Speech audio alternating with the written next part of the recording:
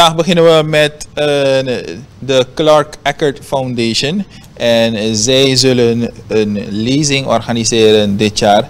Uh, deze stichting, um, ja, genoemd naar de man himself, Clark Eckert, die toch wel uh, middels van onder andere boeken zijn naam heeft gemaakt in Suriname. En toch wel het lezen weer interessant heeft gemaakt.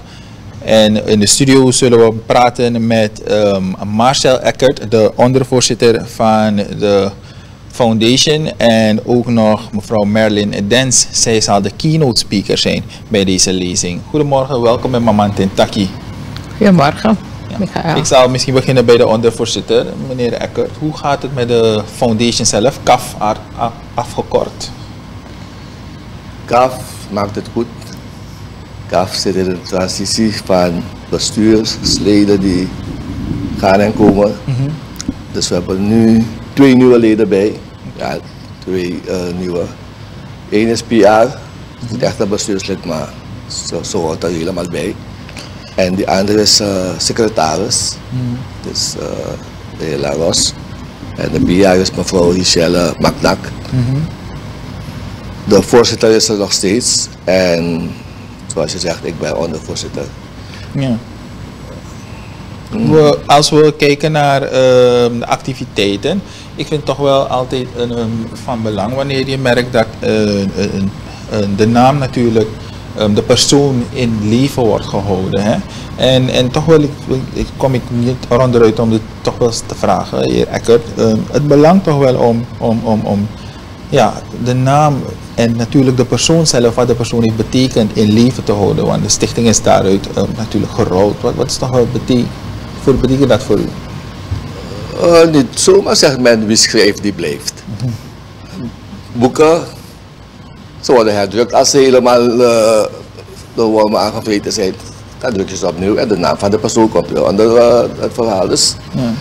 als je eenmaal geschreven hebt, dan verdwijnt je naam eigenlijk nooit meer uit de ja. gemeenschap. Maar inderdaad, waarom doen we zoveel ons best om de legacy hoog te houden? Mm Het gaat niet zozeer om de naam van de persoon, maar om wat de persoon gedaan heeft. En Clark was toch wel niet zomaar iemand.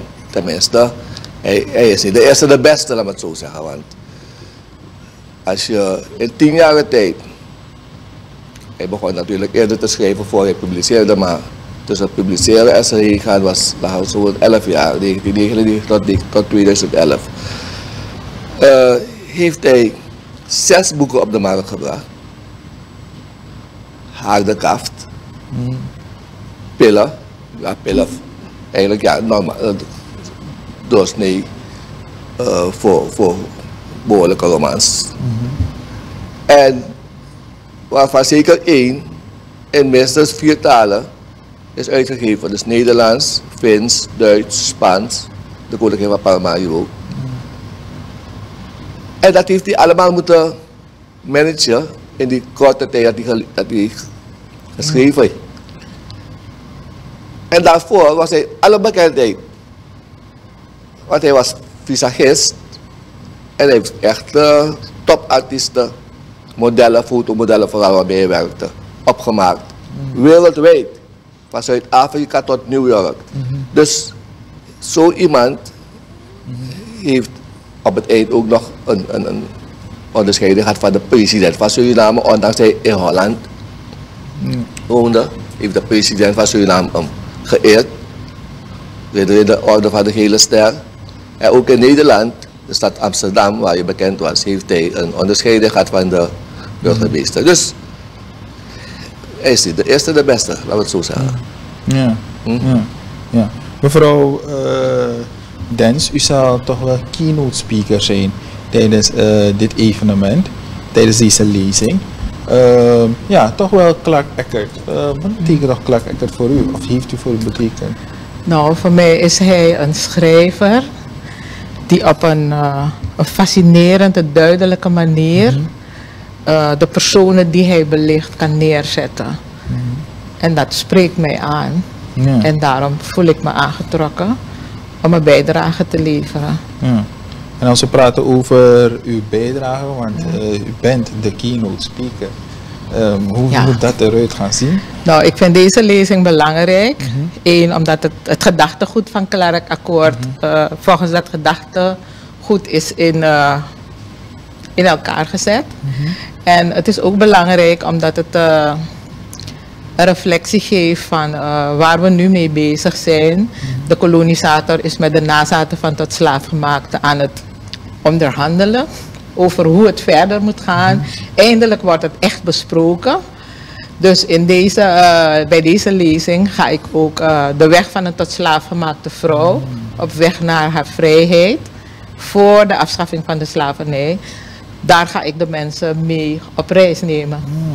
Op die trip. Interessante reis, zou ik zo zeggen, toch? You're welcome. Ja, helemaal. Ehm, wat, is wat is het thema van deze lezing, heer Eckert? Is Thema het is- van de avond? ingaan? Ja, het, is, het thema is, eh, het gaat over tot slaafgemaakte, Ja. dus nazaten van tot slaafgemaakte. En bij deze lezing kan je niet alleen een trip volgen met die vrouw, achter die vrouw aan, maar eh, er zijn ook tips voor de nazaten. Mhm. Wat heeft zij gedaan om haar doel te bereiken? Mhm. Hoe heeft zij omstandigheden en personen gemobiliseerd om te zorgen dat zij vrijheid voor haar en voor de kinderen krijgt.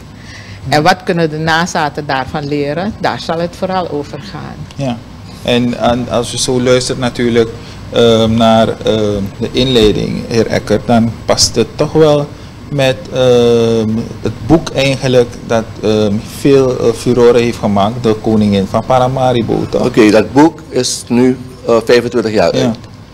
Dus dat is alle reden om een feest te vieren, Ja. jubileumjaar.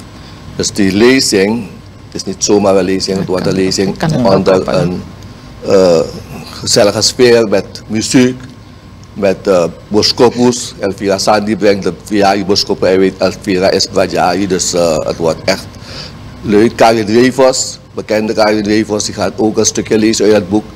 Silva Kumar van de schrijversgroep, Ja. die gaat ook lezen uit het boek. En Risa Madar, de winnaar van Youth Talent Award, eh, Stik in de Nacht, die gaat ook een column brengen. Een column.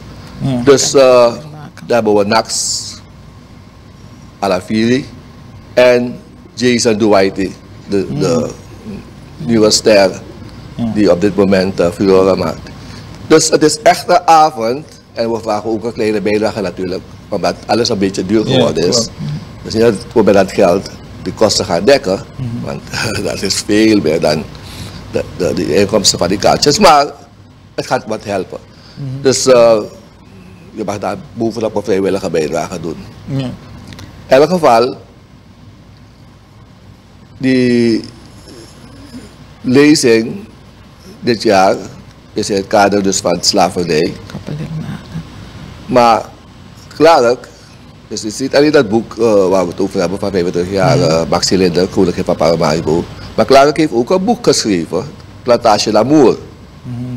Dat was zijn laatste boek, zijn exit. En Plantage L'Amour gaat eigenlijk over mijn opa, die slaaf was. Maar hij heeft het zo ver gebracht dat hij een plantage gekocht heeft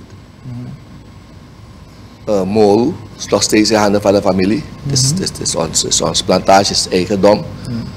En een zoon van die man, van, dus van mijn opa, is dan van Mol uitgetrokken naar een plantage Gaasje zo twee dat die plantages eh, bovenop, of althans uh, benedenwaarts. En van de Pararivier. En is daar getrouwd met Constantie Klas, ook een dochter van een plantage-eigenaar. En dat boek Plantage d'Amour gaat dus over het leven op de plantage van mijn oma, Constantie. Maar ook over het leven op Berlijn, van waar mijn eh, dus grootvader Andrew Macnak eigenlijk afkomstig is, eh, in die tijd. En mijn over, overgrootvader, dus de vader van Andrew Macnak, die was daar op Berlijn gevierendeeld vanwege verzet tegen een, op, een, een lastige opzichter. Hij heeft zich gewoon verzet. En hij is veroordeeld, dezelfde dag gevierendeeld. En dat heeft enigheid gebracht op de plantage natuurlijk. Of niet natuurlijk, hij zou zich eigenlijk moeten bundelen, maar... eh, waardoor de Magnacs een beetje zijn weggetrokken van Berlijn. Dus zodoende zijn ze niet meer, maar ze waren prominent op Berlijn. En mijn opa heeft uiteindelijk via Baboon zijn eigen plantage gekocht, Moru, plantage La- eh Boulieu, dat is het officieel, in de volksmond Moru. Dus dat boek, dus de lezing, gaat over slavernij, Ja. plantage Lamour. Maar het is in het kader van Max Linder, een vrouw die zichzelf staande heeft gehouden, Ja. een bepaalde strategie heeft toegepast. En Merlin gaat dus de strategieën die eh, in de najaren van de slavernij zijn toegepast door vrouwen die gemanipuleerd waren, vrije vrouwen, bespreken. En dan zal ze waarschijnlijk ergens een link maken tussen Ja, dus, ja, dus daar, Maxi daar, daar ik en, naartoe, en, ja. en, en, en die en, vrouwen. en, en, en, en, en Nou, dat, die link die ik maak Ja. is dat. eh, kijk, die vrouw die ik bespreek, dat is eh, Margaretha Ulenkamp. Dus als je Ulenkamp heet, moet je vooral op die lezing zijn of als je uit Ulenkamp Berik komt. Ja. Maar het gaat erom dat. eh tot slaafgemaakte vrouwen, daar werd weinig over geschreven. En door een bepaalde theorie en historische benadering toe te passen, geef je ze een gezicht en geef je ze een stem. En dat is wat Clark heeft gedaan met Maxi Linder. Hij heeft volgens History from Below gewerkt. En de manier waarop hij aanleiding, oorzaken en gevolgen in haar leven aan elkaar heeft geregend, maakt dat je haar niet meer alleen kan zien als een eh, prostituee. ja. Ze was nog meer dan dat. Maar met History from Below haal je dat naar boven. Want de geschiedenis schreef altijd over de groten. Maar met History from Below dan haal je gewone mensen voor het licht. Je geeft ze een stem en een gezicht. En dan zie je wat zij eigenlijk hebben betekend. Dus dat ga ik doen met die vrouw. Maar dat heeft hij ook gedaan met eh Maxi Linder. Ja, ja, dus als ik, u, als ik goed luister, er zijn dus, er zijn dus werkelijk een, ehm, in de geschiedenis, als we de geschiedenis even terug ehm, in mogen induiken, dat er toch wel vrouwen zijn geweest die ehm, ja, op hun manier ehm, zaken hebben gebruikt, om het zo te zeggen, toch wel om anderen te helpen of bij te Ja, dragen. zowel vrouwen als mannen. Ja. Maar omdat ze tot slaaf gemaakt werden, dan ze behoren ze tot gemarginaliseerde groepen. Dan wordt niet gepraat over hun bijdrage. En met History from Below doe je dat wel. Je gaat nieuwe bronnen aanboren of bestaande bronnen herinterpreteren, waardoor die mensen een gezicht, een stem krijgen en je hun krachtig kan ervaren.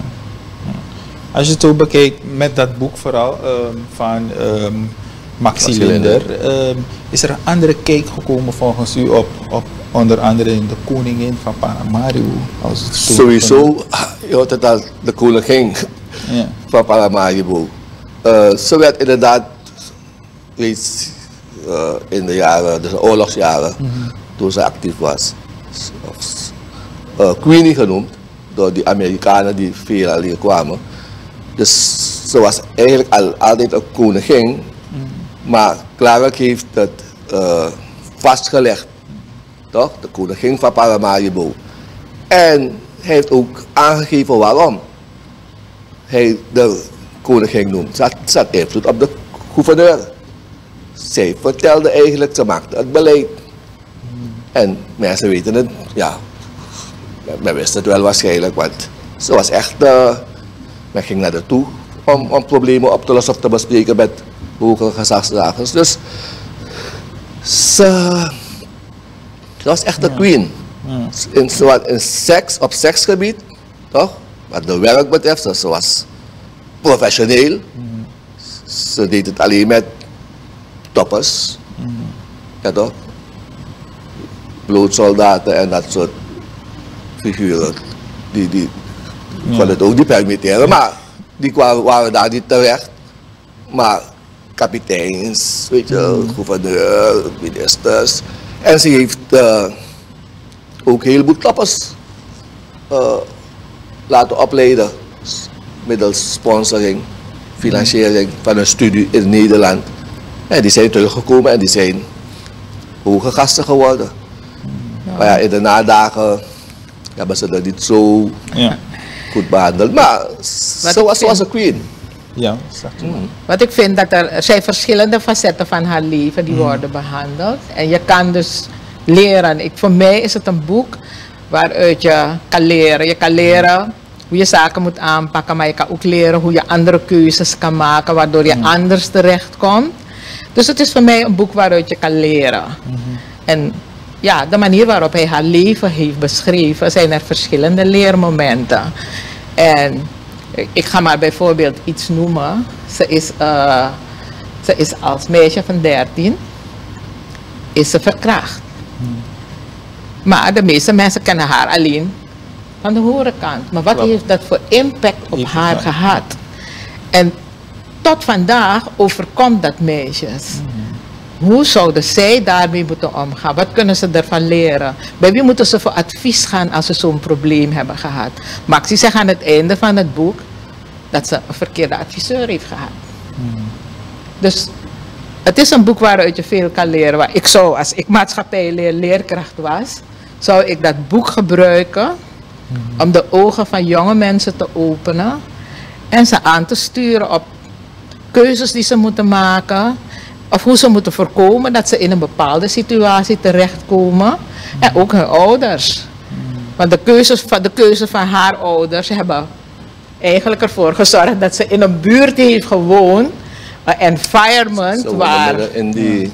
Ja, ook Een een- environment waar je. Maar, Ja, maar dat was Paramaribo eigenlijk. maar het, is een, Timmermansstraat. het is een boek waarvan ik zeg. het is een, het is je een kunt boek die- ervan leren. Die, die, die veel discussies kan Het heeft veel- het heeft veel- veel ja. aspecten, Ja, heel om- veel om- Om, aspecten. te kijken wat je... Wat Maar je kan ervan leren en Ja. zo kijk ik ernaar. En als je er naar kijkt als een boek waarvan je kan leren, ga je een heleboel leren.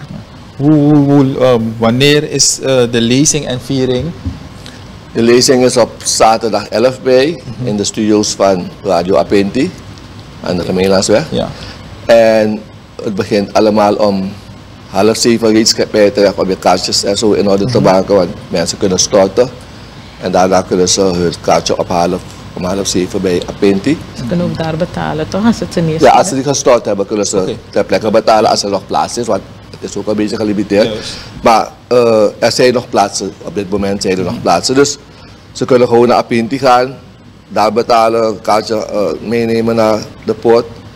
En 7 uur kunnen ze naar binnen, dat is de inloop. Half acht, sharp, want het is televisie, het is live, wereldwijd. Half acht precies starten we. En dat gaat tot half tien door. En eh, dat is het programma. Ik heb al gezegd wie er allemaal gaat optreden. Juist.